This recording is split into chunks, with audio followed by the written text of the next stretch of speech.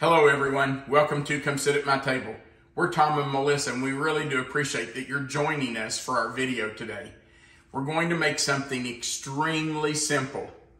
I'll tell you a little story about how we first made this. Years and years ago, our youngest daughter, Caroline, and I were in Costco, and of course, you know they hand out samples. It's one of my favorite reasons we go to Costco. But they were giving out meatballs. So Caroline and I each got a little sample of the meatball and we were eating it. There happened to be a guy standing behind us and he said, these are really good if you put them in a slow cooker and stir together a can of cranberry sauce and a jar of Heinz chili sauce. Pour over them, let them cook for a couple of hours. Well, I had heard of people doing this, but we had never done it.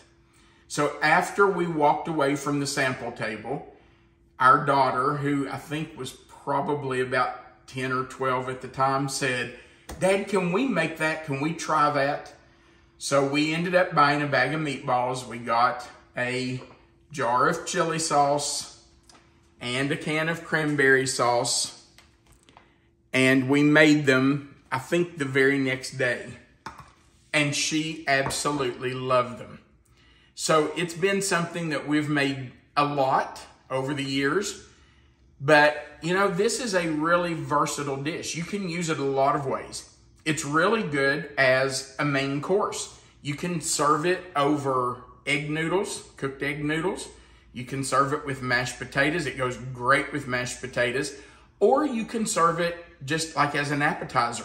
It's really good to fix and put in a bowl and just let people pick at them, eat them as an appetizer. So this is a really versatile dish. Let me tell you that in place of the cranberry sauce, you can use an equal amount of grape jelly. It's a little bit of a sweeter dish if you use the grape jelly. It's delicious. We really like it that way too.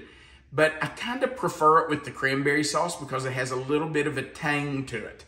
So you can fix it either way, grape jelly or with the cranberry sauce. You'll need about 14 ounces of grape jelly in place of the 14 ounces of cranberry sauce.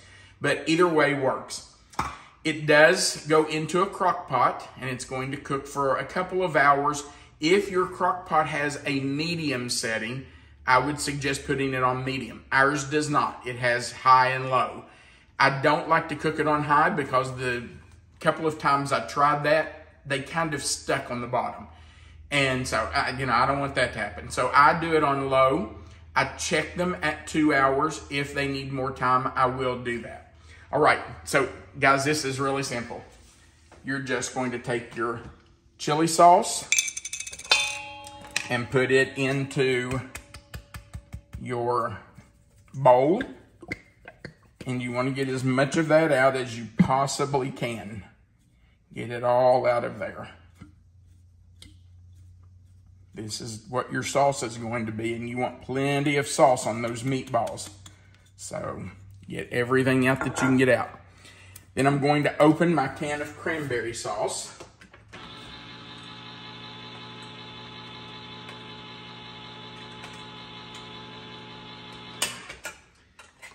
I've always heard that if you will shake your can really hard before you open it, it comes out easier.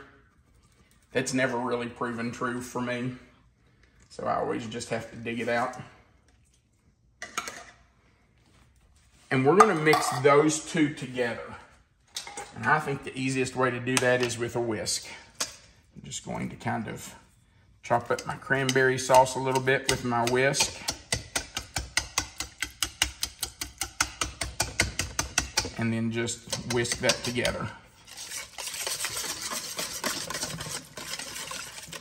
You don't have to do it until it's completely incorporated. Trust me, that cranberry sauce will melt in the crock pot.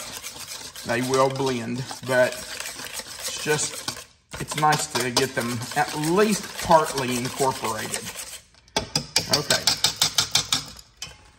Then, just going to open our meatballs. Oh, sorry. This is a three pound bag of meatballs. It's 48 ounces. You can see right there.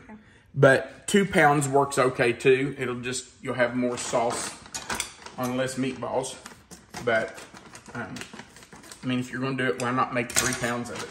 Two to three pounds of meatballs is what you need. We're just gonna put those in and then we'll stir that together.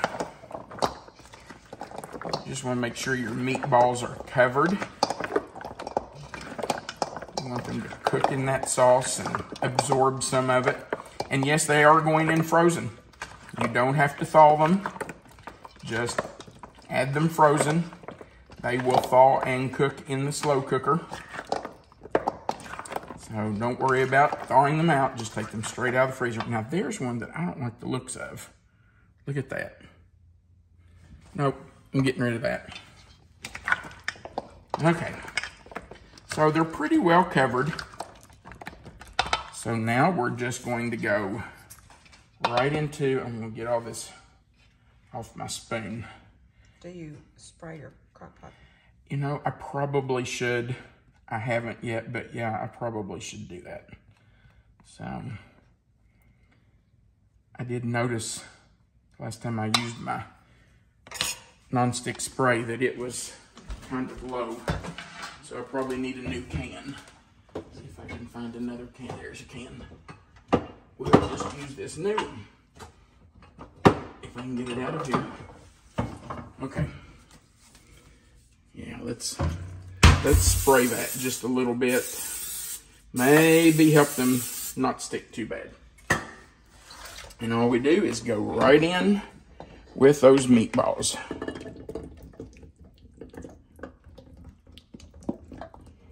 And of course, we want to scrape every bit of that sauce out of there. I'm sure most people have at least heard of this, and a lot of you have probably made this.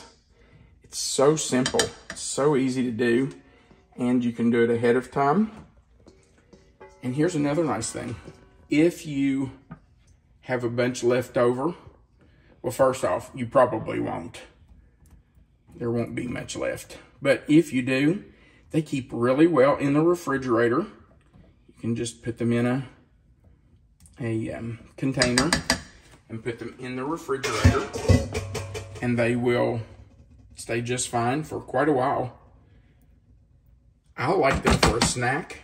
I just take a few out at a time, heat them in the microwave, and have them as a snack. And, you know, if push comes to shove and you've got a bunch left, you can put them back in the freezer.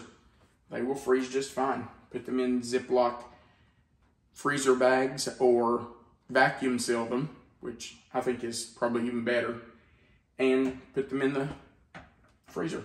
Okay, we're going to put our lid on. I'm doing it on low, but again, if you have a medium setting, I would suggest that. I need to wash my hands. I have chili sauce on me. Now, we are going to cook this for probably two hours, hour and a half to two hours. I'll check them. Then you want to remove the lid for the last 30 minutes. That way that sauce can kind of thicken. You'll have some evaporation occur and the sauce will thicken and kind of coat the meatballs a little better. So just when you think they're about done, check them. If they are, then leave that lid off for the last 30 minutes. All right, we'll be back when they're ready. Our meatballs were in the slow cooker for two hours. I took the lid off and have let them continue to cook for another 30 minutes so that the sauce would thicken. And they are ready for us to eat. So let's have one. Of course, there is some sauce down the bottom. I should have probably should have shown this. You can see that there is still some sauce down in there. So if you want to stir that up and get that sauce all over them, I'm gonna take that one right there that's got sauce on it. And maybe one more. Probably need at least two, don't I I guess just to make sure that they're high quality. Well, you know, anything for our subscribers. okay, here we go.